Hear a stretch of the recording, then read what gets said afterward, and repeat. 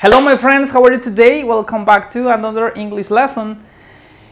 En este video les voy a hablar de collocations, pero con los verbos take, keep y give. Estos verbos significan tomar, mantener y dar. También les voy a explicar algunas conjugaciones básicas como son be en past, was y were, be en present, am, is y are y be future, que es will be.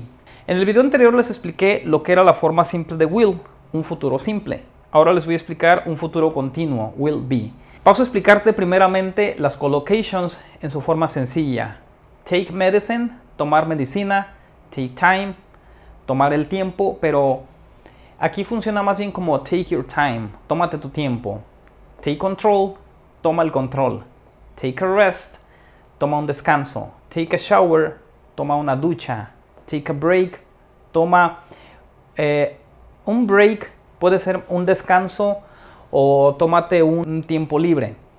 Take a picture, toma una foto, a taxi, un taxi, take a seat, siéntate, toma asiento, take someone's advice, es toma el consejo de alguien, puede ser, por ejemplo, take your mother's advice, toma el consejo de tu madre. Con quiet tenemos keep quiet, es mantente callado, keep calm, mantén la calma. Keep control, mantén el control. Acá es, toma el control, mantén el control. Keep animals. Esto significa criar animales, como la gente que cría animales. Keep animals. Keep safe, mantente seguro o mantén seguro algo. Por ejemplo, keep yourself safe.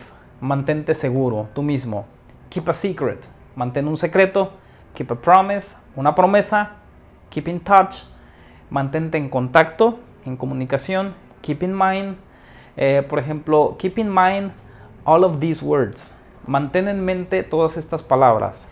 Keep the change, eh, esto significa quédate con el cambio.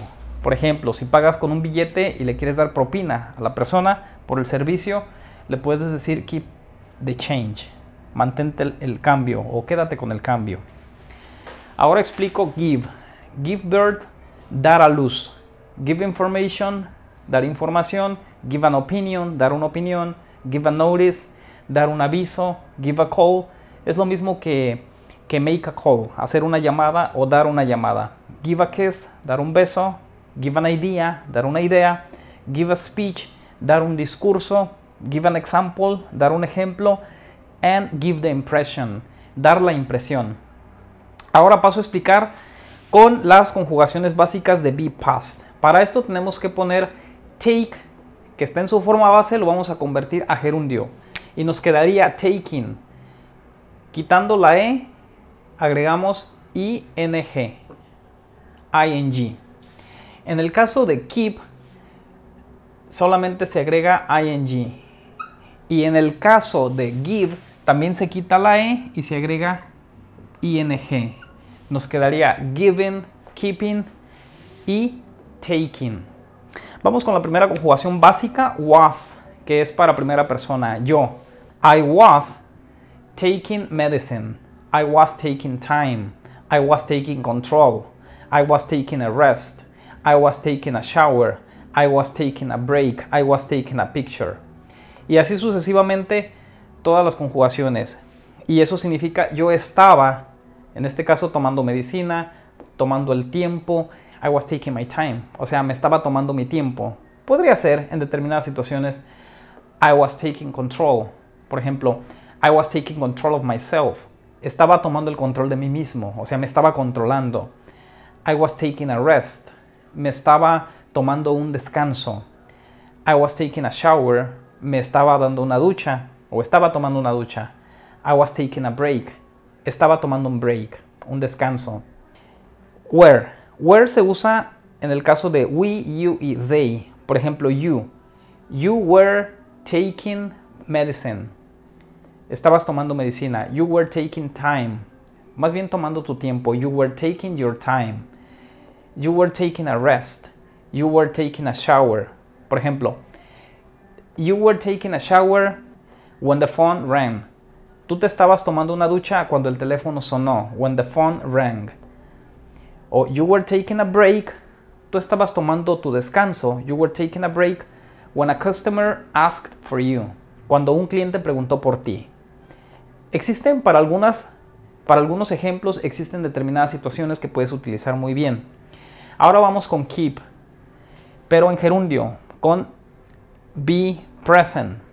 En el caso de be past funciona para este, para este y para este. Be present también para todos y be future también funciona para todos. Pero aquí, para estos ejemplos, simplemente voy a estar conjugándolos así, como ejemplos, pero tú sabes que de antemano sirven para todos. Por ejemplo, be present, am. Primera persona, I. I am, yo estoy. I am keeping myself quiet. Esto significa me estoy manteniendo callado. I am keeping control of the situation. Estoy manteniendo en control la situación.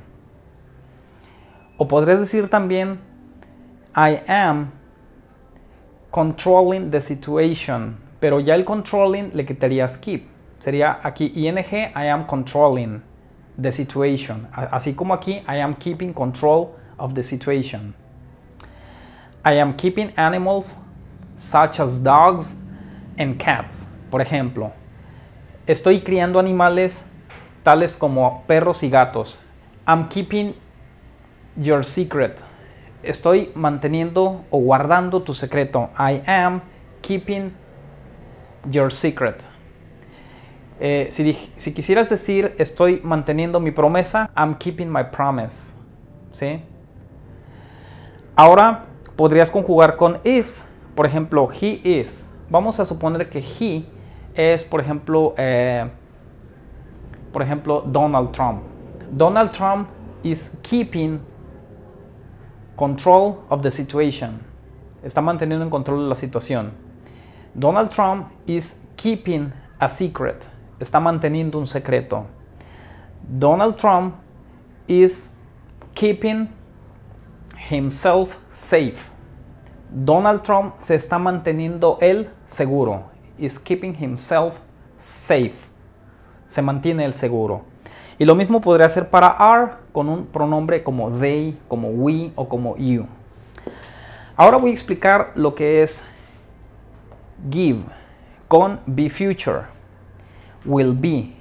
Por ejemplo, I will be, yo seré o yo estaré. Cuando vamos a conjugar con otro verbo después de will be, funciona como estar, yo estaré. I will be giving, estaré dando. I will be giving information, estaré dando información. I will be giving my opinion, my opinion, o an opinion, una opinión. I will be giving a call.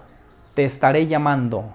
Eh, I will be giving a kiss, como que no funciona. Te estaré, estaré dando un beso, o sea, como que no se usa, ¿sí? I will be giving an example.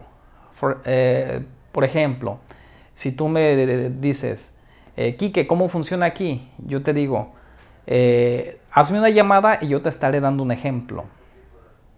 Sería, give me a call, give me a call, and I will be, y yo te estaré, o yo estaré, and I will be, giving an example. Lo mismo que give a speech, dar un discurso. I will be giving a, a speech next Sunday, por ejemplo. Estaré dando un discurso el próximo domingo. Y Así es como funciona will be. Will be funciona con todos los sujetos, con todos los pronombres I, he, she, it, we, you, they. Y para todos funciona igual. Bien, ya te he explicado solamente por columna, pero también te decía que todo funciona con todas las conjugaciones. Bien, amigos, si te gustó este video, por favor dale un gran like, compártelo. Nos vemos hasta el próximo video que también va a ser Collocations 3, tercera parte. Hasta la próxima, adiós.